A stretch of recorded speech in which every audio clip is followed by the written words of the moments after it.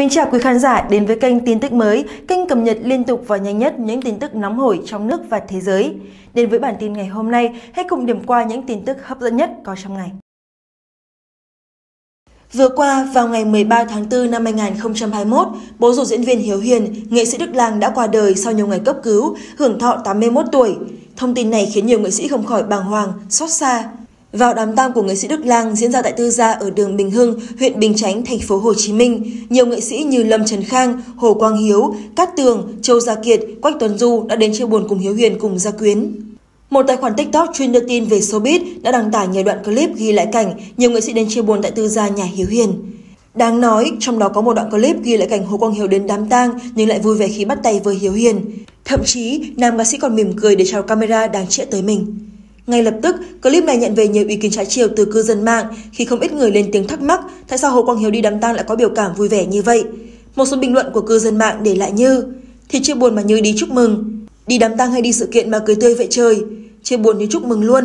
Mặt tươi cười như vậy do bẩm sinh nhưng mà lúc nào cũng tươi cười. Tuy nhiên, nhiều người cũng bình vực cho Hồ Quang Hiếu khi cho rằng clip này được quay khi nam ca sĩ ra về và chào Hiếu Hiền cũng như giao lưu với ống kính của phóng viên nên mới tươi cười như vậy.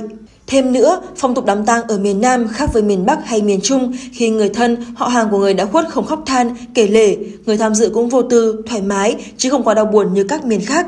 Nhắc đến Hồ Quang Hiếu, không thể thiếu bài Con Bướm Xuân, một trong những ca khúc đưa anh thành danh. Nhưng ở thời điểm đó, bài hát nổi lên như một hiện tượng và cái tên Hồ Quang Hiếu vẫn trở đến gần hơn với khán giả.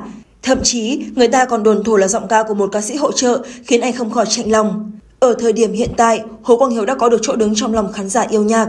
Sau nhiều năm miệt mài đi hát, nam ca sĩ sở hữu khối tài sản khủng khiến nhiều người trầm trồ.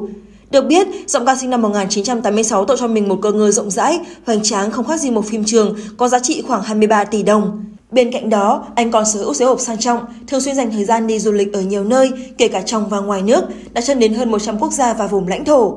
Ngoài ra, Hồ Quang Hiếu cũng không ngại chi tiền khủng cho những dự án âm nhạc của mình. Điển hình là dự án phim ca nhạc Hiểu Bến Tàu, anh đầu tư hơn 3 tỷ đồng với mong muốn mang đến một sản phẩm có công nghệ xứng đáng.